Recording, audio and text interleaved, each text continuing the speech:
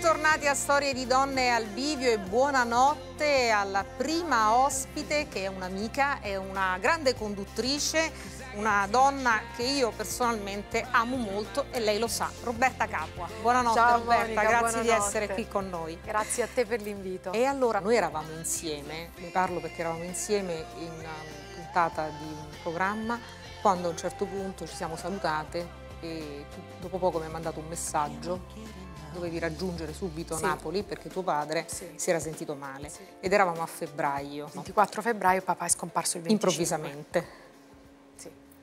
Poi invece il 20 novembre è andata via mamma. sì. E sai, eh, ti vengono a mancare dei punti di riferimento. Mamma tra l'altro una donna bellissima. Mamma è una donna bellissima, una donna mm, di grande charme, di grande fascino, una donna discreta, una donna eh, con un carisma particolare eh, che purtroppo però già da qualche anno a causa di una bruttissima malattia non era più lei, ma come tu sai l'amore dei figli non, non cambia, lei Cambia. era cambiata, era diversa perché aveva una demenza senile molto, molto forte, quindi addirittura nell'ultimo anno non ci riconosceva più, ma mh, per noi era sempre mamma, Sempre quindi eh, la sua scomparsa, che è stata anche questa improvvisa, onestamente non ce l'aspettavamo, eh, ci ha lasciati, insomma, io ho un fratello, anche lui siamo rimasti molto, mo- molto addolorati e molto colpiti dalla vicinanza dei due eventi. Non abbiamo ancora elaborato, non avevamo ancora lutto. elaborato il lutto di papà. Senti, invece raccontiamola questa mamma nei ricordi che ti vengono in mente questa notte, cioè i primi ricordi, proprio il primo che ti, così, che ti appare davanti agli occhi, la prima immagine di lei. Eh, se ti dovessi dire il primo che mi appare ehm, è quando mi faceva aprire il suo cassetto. Lei aveva eh, in un armadio tre cassetti e in uno custodiva tutta la sua bigiotteria, gli orecchini, gli anelli ed era il premio quando magari ero stata particolarmente brava. Così mi diceva puoi mettere a posto il mio cassetto.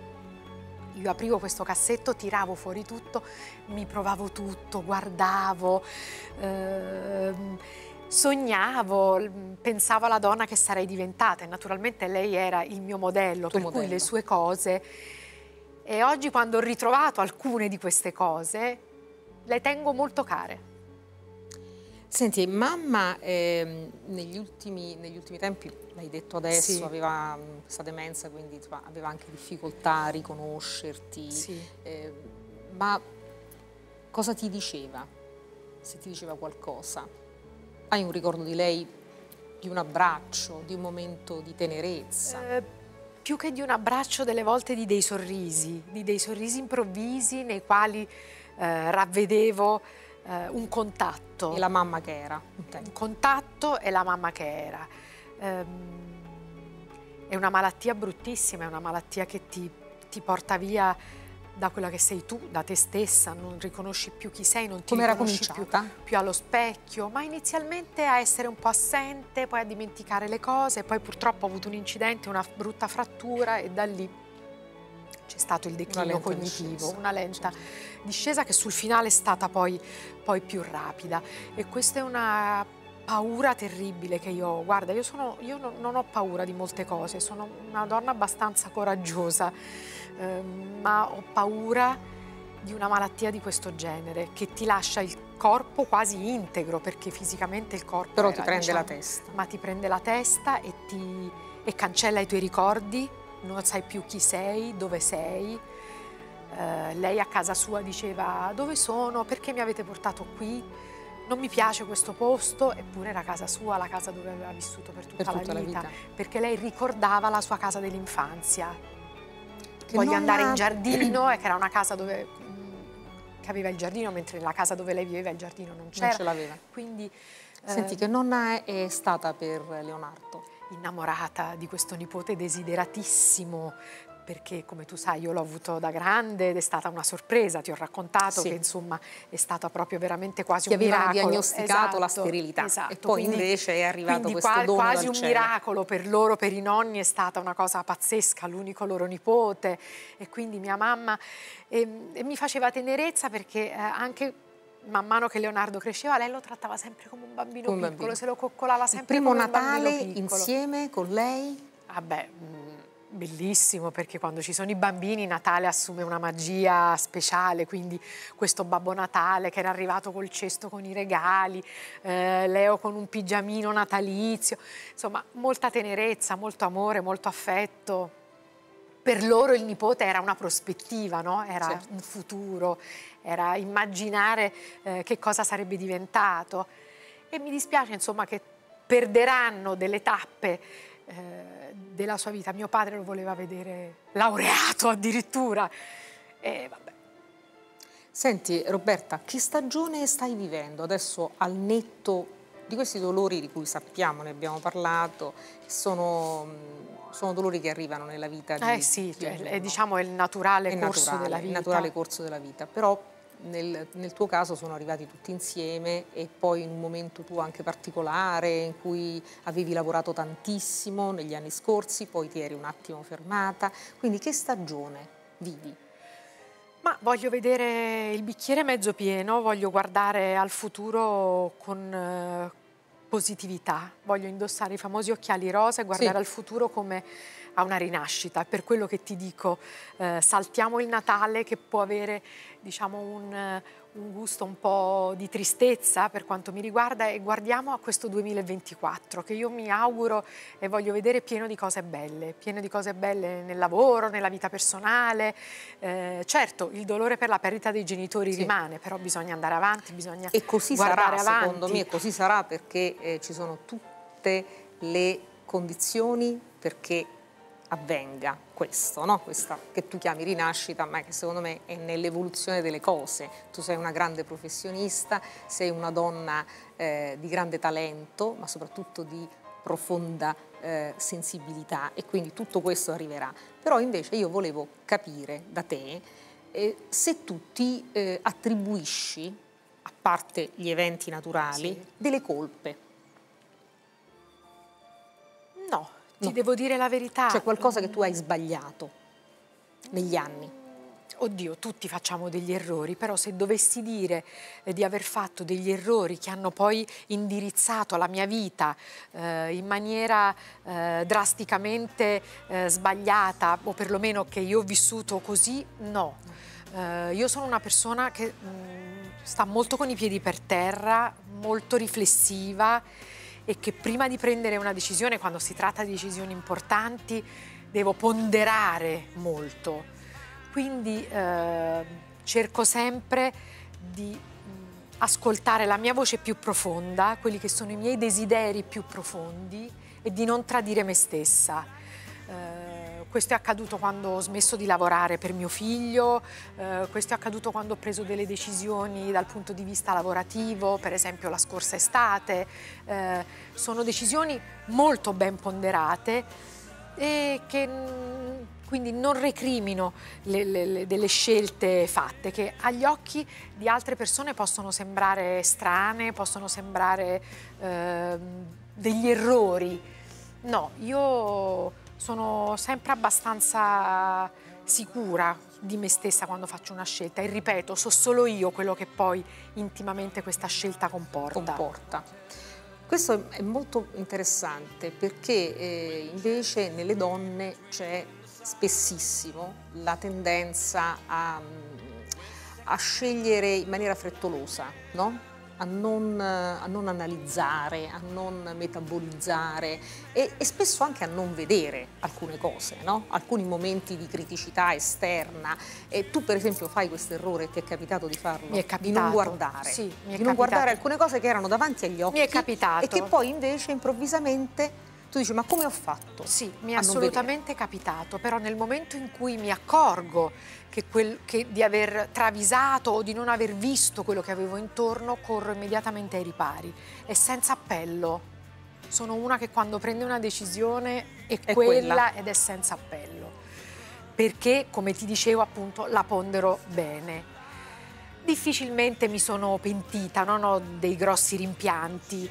Eh, io vivo di entusiasmi, quindi eh, Ti sei sentita ho mai... Sempre, ho sempre poi un obiettivo che mi entusiasma. Ti sei sentita eh, in alcuni momenti tradita dalla vita?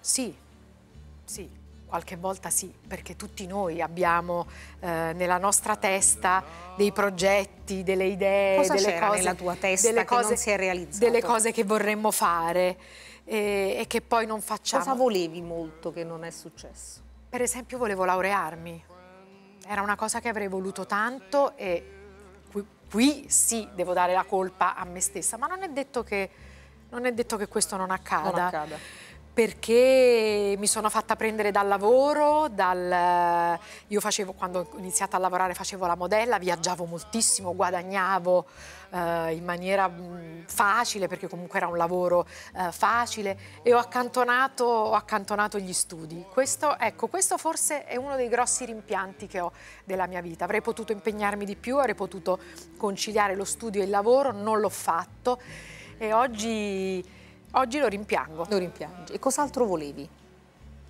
Ma diciamo che più o meno quello che volevo dalla vita l'ho ottenuto, un, un, lavoro... Mamma che ti diceva? Un lavoro rispetto, che amo. diciamo, alla tua vita, alle scelte che avevi fatto? Beh no, lei mi voleva vedere mamma, però appunto sapeva che avevo una difficoltà, mi avevano diagnosticato appunto un problema per cui eh, non ha mai poi insistito più di tanto, sarebbe stata indelicata. Per quello ti dico che quando è nato Leonardo è stata proprio per loro veramente l'hanno considerato quasi un miracolo. Lei mi, mi, vedeva mamma. Secondo lei qual era il difetto che tu avevi, visto da tua madre? Difetto caratteriale? Ah, di essere permalosa. E in effetti un pochino lo sono. Cioè di non saper perdonare? Eh, no, di prendere delle volte delle cose dette magari da un'altra persona con leggerezza o senza malizia o senza cattiveria, invece di farmene un cruccio. Eh, con l'età ho imparato però a farmi scivolare un po' di più le cose, a essere più accomodante e a capire che magari tante volte le persone dicono delle cose perché ci sono delle motivazioni dietro eh, e non solo per ferire o per fare male, mentre invece quando ero più giovane, in questo ero più impulsiva, mi, mi, mi turbavo molto non, non, accettavo le critiche, ero un po' più rigida in questo senso. Oggi poi nel mondo dei social dove eh, facilmente si viene mh, criticati, si è esposti diciamo, alla, ai commenti eh, del pubblico e delle persone che ti seguono, di quelle che non ti seguono, eh, bisogna imparare a essere un po' più flessibili e a prendersela di meno. Agli occhi eh, del, della gente, del tuo pubblico, hai sempre avuto tutto quello che volevi, no?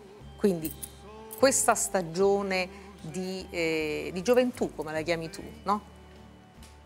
Appartiene ai tuoi vent'anni, ai 30? Ai 30, ai 30. direi. Se, io, se tu mi dicessi vuoi tornare indietro a quale epoca della tua vita, sì. io direi ai 30.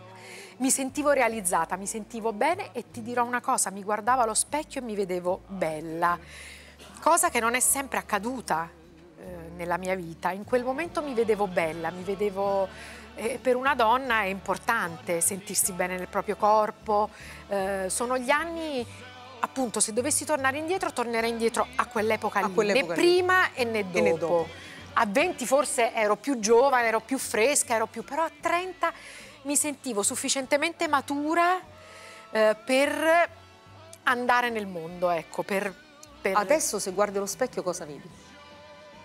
Vedo una donna di 55 anni perché ho 55 anni, che vuole invecchiare dolcemente, eh, che vuole vivere una vita piena, che vuole ancora avere entusiasmo per la vita. Mio padre mi diceva sempre tutti entusiasmi per le piccole cose ed è vero.